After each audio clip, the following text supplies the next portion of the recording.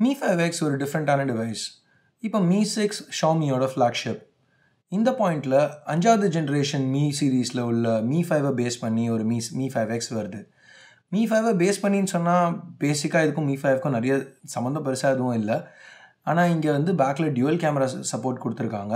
Xiaomi இதை வந்து me சிக்ஸில் வர டியூவல் கேமராஸ் அளவுக்கு நல்லா இருக்குன்னு சொல்லி மார்க்கெட் பண்ணாங்க. அது அந்த அளவுக்கு இல்லை. பட்சத்தில் அதை பற்றி நம்ம அடுத்து பேசுவோம்.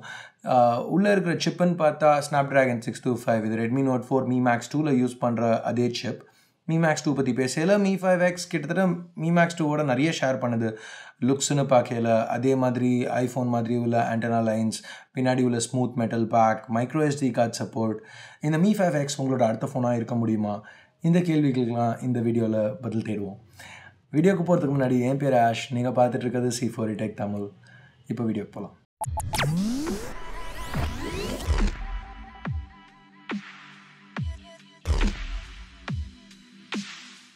ஸோ ஃபர்ஸ்ட் பில்டோட ஹைலைட்ஸில் ஆரம்பிப்போம். ஏற்கனவே நான் சொன்ன மாதிரி Mi five X Mi Max டூவோட நிறைய ஷேர் பண்ணுது. இன்ஃபேக்ட் சில நேரத்தில் ஒரு சின்ன மீ மேக்ஸ் டூ கையில் வச்சுருக்க மாதிரி ஃபீலும் இருக்குது அது நல்ல விஷயந்தான் எதுவும் நம்ம புதுசாக இந்த டிசைனில் இல்லை. ஸோ எர்கனாமிக்ஸ் அதாவது கையில் எவ்வளோ நல்லா நல்ல ஃபீல் கொடுக்குது அப்படிங்கிறத பார்த்தா நல்லா தான் இருக்குது கம்ஃபர்டபுளாக இருக்குது யூஸ் பண்ணுறதுக்கு இப்போ ஃபிசிக்கல் ஃபிசிக்கல் ஓவர் வியூன்னு பார்க்கையில் மீ சிக்ஸ் மாதிரி இல்லாமல் இங்கே ஒரு three and half millimetre headphone jack கொடுத்துருக்காங்க. அது போக டைப் சி போர்ட் ரெண்டு சைடில் வந்து ப்ரைமரி மைக்ரோஃபோன் ஸ்பீக்கர் இது பாட்டமில் பவர் அண்ட் வால்யூம் பட்டன்ஸ் ரைட்டில் செகண்டரி நாய்ஸ் கேன்சலிங் மைக்ரோஃபோன் ஒரு ஐஆர் பிளாஸ்டர் டாப்பில் லெஃப்ட்டில் ஒரு ட்ரே இருக்குது இந்த ட்ரேயில் ரெண்டு சிம்ஸ் இல்லை ஒரு சிம்மும் ஒரு மைக்ரோ எஸ்டி கார்டும் யூஸ் பண்ணலாம். ஃப்ரண்ட்டில் டாப்பில் நோட்டிஃபிகேஷன் எல்இடி சென்சர்ஸ் ஒரு அஞ்சு மெகா பிக்சல் செல்ஃபி கேமரா அப்புறம் இயர் பீஸ் அதுக்கு கீழே ஒரு அஞ்சு இன்ச் டிஸ்பிளே பாட்டமில் ரெகுலர் கெப்பாசிட்டிவ் கீஸ் இதுக்கு பேக் லைட்டிங்கும் கொடுத்துருக்காங்க. பின்னாடி dual tone dual LED flash ஒரு டியூவல் கேமரா அது கீழே ஃபிங்கர் பிரிண்ட் ஸ்கேனர் அப்புறம் மீ பிராண்டிங் இந்த ஃபிங்கர் பிரிண்ட் ஸ்கேனர் நாங்கள் யூஸ் பண்ண அஞ்சு நாளில் எந்த பிரச்சனையும் இல்லை. ஃபாஸ்ட்டாக இருந்துச்சு ஆக்யூரேட்டாக இருந்துச்சு ரெஸ்பான்சிவாக இருந்துச்சு.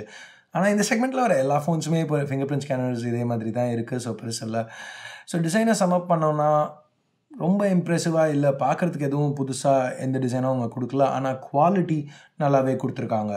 சிங்கிள் ஹேண்டில் இந்த ஃபோனை எப்போவுமே யூஸ் பண்ண முடியாது. ஏன்னா அஞ்சரை இன்ச் டிஸ்பிளே இருக்குது பட் கையில் நல்ல ஒரு ஸ்டடி ஃபீல் இருக்குது உள்ளே என்ன சிப் யூஸ் பண்ணுறாங்கன்னு பார்த்தா சொன்ன மாதிரி six two five chip GPU Adreno five zero six நாலு ஜிபி ரேம் முப்பத்தி ரெண்டு இல்லை அறுபத்தி நாலு ஜிபி ஆன்போர்ட் ஸ்டோரேஜ் இந்த சிக்ஸ் டூ ஃபைவ் சிப் நம்ம நிறைய ஃபோன்ஸில் இது வரைக்கும் பார்த்துருக்கோம். Lenovo P two Mi Max two ரெ Redmi four prime Moto G five plus Moto G five S plus இது எல்லாத்துலேயுமே நம்மளுக்கு நம்ம பார்த்த வரைக்கும் பர்ஃபார்மன்ஸ் நல்லா தான் இருந்திருக்கு. அதே மாதிரி இங்கேயும் டே டு டே டாஸ்க்ஸ் எந்த பிரச்சனையும் இல்லை. என் மீ ஃபைவ் எக்ஸ் நான் வாங்கல மியூஐ எயிட் பாயிண்ட் ஃபைவ்ல ரன் ஆகிட்டு இருந்துச்சு. நான் டெவலப்பர் வேரியன்ட் மியூஐ நைன் அதில் இன்ஸ்டால் பண்ணி தான் யூஸ் பண்ணேன். நாங்கள் டெஸ்ட் பண்ண அஞ்சு நாளைக்கு. பர்ஃபார்மன்ஸ் ரொம்பவே நல்லா இருந்துச்சு. இப்போ நான் சொன்ன எல்லா ஃபோன்ஸ்லையுமே இது வரைக்கும் நாங்கள் யூஸ் பண்ண சிக்ஸ்டி ஃபைவ் ஃபோன்ஸ்லேயே இதுதான் பர்ஃபார்மன்ஸ் பெஸ்ட்டாக இருந்துச்சுன்னு சொல்லலாம். ஷாமி இங்கே மியூஐ நைனோட நல்ல ஆப்டிமைசேஷன்ஸ் பண்ணியிருக்காங்க. ஸோ ஓவரால் யூசர் இன்டர்ஃபேஸ் ரொம்பவே ஃபாஸ்ட்டாக இருந்துச்சு. மியூஐ நைனோட stock stock நூகட்டோட features like split screen multi tasking quick ஸ்விட்ச் இது எல்லாமே வந்து இந்த ஃபோனில் அவைலபிளாக இருக்குது யூஸ் பண்ணுறதுக்கும் நல்லா இருந்துச்சு. இப்போ அஃப்கோர்ஸ் மீ சிக்ஸ் இதோட ஃபாஸ்ட்டாக தான் இருக்க போகுது. Snapdragon eight thirty five அளவுக்கு அளவுக்கு இந்த பர்ஃபார்மன்ஸ் இல்லை. ரெண்டுத்தையும் சைட் பை சைட் யூஸ் பண்ணி பார்த்தீங்கன்னா மீ சிக்ஸ் தான் பெட்டராக இருக்கும். But side by side use பண்ணாமல் டே டு டே சும்மா மீ ஃபைவ் எக்ஸ் மட்டும் உங்கள் ப்ரைமரி ஃபோனாக நீங்கள் யூஸ் பண்ணிட்டு இருந்தீங்கன்னா எந்த பாயிண்ட்லையுமே இந்த ஃபோன் ஸ்லோவாக இருக்குது அப்படிங்கிற ஒரு ஃபீல் இது கொடுக்கல. ஸோ இது போக மியூஐ நைன் வேறு என்னெல்லாம் ஃபீச்சர்ஸ் எடுத்துகிட்டு வருது அப்படிங்கிறத பற்றி நீங்கள் தெரி தெரிஞ்சுக்கணும்னு நினச்சிங்கன்னா அதுக்கு ஒரு டெடிக்கேட்டட் தனி வீடியோ பண்ணியிருக்கோம். அதுக்கு இங்கே ஒரு கார்டு விடுறேன் அதை செக் பண்ணி பார்த்துக்கோங்க. ஸோ அடுத்து இப்போ இன்டென்சிவ் டாஸ்க்ஸ் இப்போ கேமிங் அந்த மாதிரி ஹெவி டாஸ்க்ஸ் நம்ம ரன் பண்ணால் கூட மீ ஃபைவ் எக்ஸில் எந்த பிரச்சனையும் இல்லை. எஸ் இது ஒரு மிட் ரேஞ்ச் சிப் தான். அதனால் அக்கேஷ்னலாக ஒரு சின்ன ஃப்ரேம் ட்ராப் இருக்கும். பட் ஓவரால் இன்டென்சிவ் கேம்ஸ் கூட எந்த பிரச்சனையும் இல்லாமல் இந்த ஃபைவ் எக்ஸால் ரன் பண்ண முடிஞ்சுது. ஸ்பீக்கர்லேருந்து வர ஆடியோ ரொம்ப லவுடாக இல்லை but acceptable cellular reception call quality ரெண்டுமே நல்லா தான் இருந்துச்சு. ஜியோ வோல்ட்டிக்கு சப்போர்ட் இல்லை பட் இது சைனாலேருந்து இம்போர்ட் பண்ண யூனிட் இந்தியன் யூனிட்டில் ப்ராப்ளம் இருக்கக்கூடாது. இந்தியாவில் லான்ச் ஆச்சுன்னா. அடுத்து three point five millimetre headphone jack மூலம் வர ஹெட்ஃபோன்ஸ்க்கு வர ஆடியோவும் ரொம்ப நல்லா தான் இருந்துச்சு. இந்த ஃபோனுக்கு ஒரு மூவாயிரத்தி எண்பது மில்லியம் பர் பேட்டரி கொடுத்துருக்காங்க. பேட்டரி லைஃப் எதிர்பார்த்த மாதிரி இருந்துச்சு. அதாவது நம்ம ரெட்மி நோட் ஃபோரில் பார்த்துருக்கோம். இந்த சிப் எப்படி பர்ஃபார்ம் பண்ணுன்ட்டு. ரெட்மி நோட் ஃபோரில் நாலாயிரம் மில்லியம் பர் பேட்டரி இதில் மூவாயிரத்தி எண்பது மில்லியம் பர் ஸோ எழுபத்தஞ்சி எண்பது பர்சன்ட் பேட்டரி கொடுக்கும்னு நினச்சோம். அதே மாதிரி தான் இருந்திருக்கு. ஸோ ஃபார் எக்ஸாம்பிள் இப்போது நைட் டு மாட்ரேட் யூசேஜ் பண்ணுறீங்க அப்படிங்கையில் ஒரு ரெட்மி நோட் ஃபோர் ரெண்டு நாள் உங்களுக்கு சார்ஜ் தாங்குச்சுன்னா இது ஒரு ஒன்றரை நாள் அடுத்த நாள் மத்தியானம் அந்த மாதிரி டயத்தில் சார்ஜ் ஃபுல்லாக சார்ஜ் காலியாகும் ஈவன் இன்டென்ஸ் யூசேஜ்க்கு புஷ் பண்ணால் கூட இப்போ ரீசெண்டாக வந்து போன வாரம் பார்த்தீங்கன்னா இந்த ஃபோன் டெஸ்ட் பண்ணிகிட்டு இருக்கையில் ஹொசூருக்கு ஒரு ட்ரிப் போனோம். அன்றைக்கி போகையில் மேப்ஸ் யூஸ் பண்ணுவோம் நேவிகேஷனுக்கு நிறைய ஃபோட்டோஸ் எடுத்தோம். அந்த ஃபோட்டோஸ் எல்லாத்தையும் ட்விட்டரில் போஸ்ட் பண்ணிட்டு இருந்தோம். ட்விட்டர் இன்ஸ் இன்ஸ்டாகிராம் நிறைய கமெண்ட்ஸ் ரிப்ளை ப்ளஸ் அந்த ட்வீட் பண்ணதுக்கு ரிப்ளைஸ் இதெல்லாம் பண்ணிட்டு இருந்தோம். இந்த மாதிரி இருக்கையில் கூட அந்த ஒரு ஃபுல் டே இந்த சார்ஜ் நினச்சி எனக்கு திருப்பி ப்ளகின் பண்ணுங்கிற ஒரு தேவை வரல வீட்டுக்கு வர வரைக்கும். ஸோ சார்ஜிங்கை பற்றி பேசையில் இந்த ஃபோனுக்கு குவா குவால்காமோட quick charge three point oh support இருக்குது ஆனால் பாக்ஸில் குவிக் சார்ஜர் எதுவும் ஷாமி கொடுக்கல. ஸோ அது ஒரு நெகட்டிவ்னு சொல்லலாம். ஸோ நெகட்டிவ்ஸ் பற்றி பேசல. எனக்கு இந்த ஃபோன் யூஸ் பண்ண முதல் நாள் அந்த டிஸ்பிளே சுத்தமாக பிடிக்கல. கலர்ஸ் ரொம்ப கேவலமாக இருந்த மாதிரி தான் இருந்துச்சு. பட் இது ஆக்சுவலாக உள்ள ஒரு செட்டிங் இருக்குது ஆட்டோமேட்டிக் கான்ட்ராஸ்ட்னு ஒரு ஆப்ஷன் இருக்குது அந்த செட்டிங் ஒழுங்காக ஒர்க் ஆகலை. அதனால தான் கலர்ஸ் பார்க்க சரியா இல்லை. அது ஸ்டாண்டர்டுக்கு மாற்றினதுலேருந்து எந்த பிரச்சனையும் இல்லை. பேனல் வந்து நல்லா தான் இருக்குது மீ ஃபைவ் எக்ஸ் ஒரு அஞ்சு inch IPS LCD display use பண்ணுது. ஃபுல் ஹெச்டி ரெசல்யூஷனோட ஸோ பிக்சல் டென்சிட்டி ஒரு நானூறு பிக்சல்ஸ் பர் இன்ச் ஸோ ஷார்ப்பாக தான் இருக்குது வியூவிங் ஆங்கிள்ஸ் நல்லா இருக்குது இது டூ பாயிண்ட் ஃபைவ் டி கிளாஸால் கவர் பண்ணுறாங்க இது கார்னிங்கோட ஒரு கிளாஸ் இல்லை. ஏன்னா ஷாமி அதை பற்றி எதுவும் என்ன யூஸ் பண்ணியிருக்காங்கன்னு எதுவும் சொல்லலை. ஸோ மேபி என்ன இன்ஃபர்மேஷன் ஏதாவது கிடச்சதுன்னா கீழே டிஸ்கிரிப்ஷனில் சொல்கிறேன் அதை செக் பண்ணிக்கோங்க. பிரைட்னஸ்னு வரையில் இது நானூற்றி ஐம்பது நெட்ஸ் வரைக்கும் பிரைட்னஸ் போகும். இந்த கிளாஸ் கொஞ்சம் ரிஃப்ளெக்டிவாக இருக்கிறதுனால அவுட்டோர்ஸில் நல்ல சன்லைட்டில் யூஸ் பண்ணையில் சில நேரம் கொஞ்சம் கஷ்டமாக இருந்துச்சு. ஃபார் எக்ஸாம்பிள் நாங்கள் அந்த ட்ரிப்பில் போகையில் வெளியில் ஃபோட்டோஸ் எடுக்கையில் கொஞ்சம் மிட் நூன் அந்த மாதிரி கொஞ்சம் நல்லா சன்லைட் ப்ரைட்டாக இருந்துச்சுன்னா அந்த பாயிண்ட்டில் டிஸ்பிளேயில் எக்ஸாக்டாக என்ன தெரியும் என்ன நடக்குதுன்னு பார்க்குறது கொஞ்சம் கஷ்டமாக இருந்துச்சு. பெரிய விஷயம் இல்லை பட் ஸ்டில் சொல்கிற அளவுக்கு ஒரு விஷயம் தான் ஷவுமி இந்த ஃபோன் லான்ச் ஆகையில் திருப்பி திருப்பி ஃப்ளாக்ஷிப் டியூவல் கேமராஸ் அப்படின்னு சொன்னாங்க.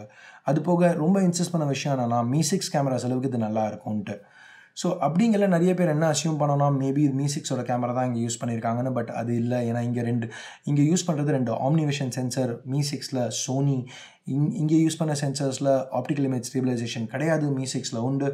இதோட aperture F two point two Mi சிக்ஸில் F one point eight so இப்போ இந்த கேமராவோட பர்ஃபார்மன்ஸ் பற்றி பேசுகிறதுக்கு ஷாருக். நல்ல லைட்டிங் கண்டிஷனில் டுவெல் மெகா பிக்சல் ப்ரைமரி கேமராவில் எடுத்த ஃபோட்டோஸ் ரொம்பவே நல்லாயிருக்கு இமேஜ் நல்லா ஷார்ப்பாக இருக்குது நிறைய டீட்டெயில்ஸ் பார்க்க முடியுது. கலர் ரீப்ரொடக்ஷன் அபவ் ஆவரேஜ் இங்கே ஓவர் சேச்சுரேஷன் எதுவும் பண்ணல. ஆக்சுவல் சீனில் இருக்கிறது இமேஜில் நல்லாவே ரீப்ரொடியூஸ் ஆகியிருக்கு. டைனாமிக் ரேஞ்ச் ரொம்பவே நல்லாருக்கு மற்ற ஷவுமி ஃபோன்ஸ் மாதிரி இதுலேயும் ஆட்டோ ஹெச்டிஆர் இல்லாததால் இதில் நிறைய ஷார்ட்ஸ் ஹெச்டிஆர் ஆனில் வச்சு எடுத்தது. இதில் வெறும் F two point two aperture இருக்கிறதால போகே எஃபெக்ட் எதிர்பார்க்குற அளவுக்கு இல்லை. பின்னாடி இன்னொரு secondary twelve mega pixel F two point six aperture camera இருக்குது ஸோ இங்கே தனியாக போர்ட்ரேட் மோட் ஆப்ஷன் கொடுத்துருக்காங்க. இதை யூஸ் பண்ணி எடுத்த ஃபோட்டோஸ் ரொம்பவே நல்லாயிருக்கு சப்ஜெக்ட் பேக்ரவுண்டில் இருந்து தனியாக தெரியுது. சாஃப்ட்வேர் மூலியமாக பேக்ரவுண்ட் பிளர் பண்ணாலும் இங்கே சப்ஜெக்டோட எட்ஜஸ் லைட்டாக பிளர் ஆகிறது மாதிரியான இஷ்யூஸ் எதுவும் இல்லை. பார்க்க நீட்டாக இருக்குது கிட்டத்தட்ட எடுத்த எல்லா ஃபோட்டோஸ்லேயும் இமேஜ் பர்ஃபெக்டாக இருந்தது. இது உண்மையிலேயே அப்ரிஷியேட் பண்ண வேண்டிய விஷயம். செகண்டரி கேமராவோட இன்னொரு முக்கியமான யூஸ் இதால் குவாலிட்டி லாஸ் இல்லாமல் டூ எக்ஸ் ஜூமில் ஃபோட்டோ எடுக்க முடியும். ஷவுமி தான் மீ ஃபைவ் எக்ஸ் மூலமாக இந்த ப்ரைஸ் ரேஞ்சில் இந்த இம்ப்ளிமெண்டேஷனை முதல்ல கொண்டு வராங்க. இதை யூஸ் பண்ணி எடுத்த ஃபோட்டோஸ் ரொம்பவே நல்லா இருந்தது. ஓவரால் அவுட்டோர்ஸில் இதோட கேமரா இந்த ப்ரைஸ் ரேஞ்சில் எதிர்பார்க்கறத விட நல்லாவே இருக்குது இன்டோர்ஸில் எடுத்த ஷார்ட்ஸில் லைட்டாக நாய்ஸ் இருக்குது பட் ஸ்டில் இமேஜ் பார்க்க நல்லா ஷார்ப்பாக கலர்ஸ் நேச்சுரலாக இருக்குது டீசெண்டான எக்ஸ்போஷர் ப்ளஸ் நிறைய டீட்டெயில்ஸ் பார்க்க முடியுது. லோ லைட்டில் கூட இந்த கேமரா நல்லா பெர்ஃபார்ம் பண்ணிச்சு.